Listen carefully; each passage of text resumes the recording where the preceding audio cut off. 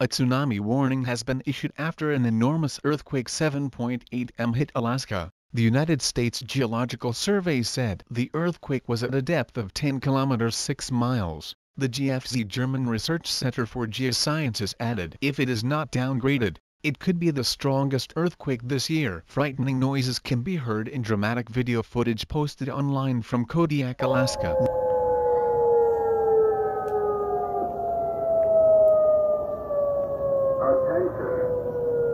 Tsunami warning has been issued for this area.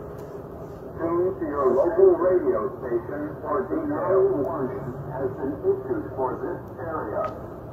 Tune to your local radio station for details.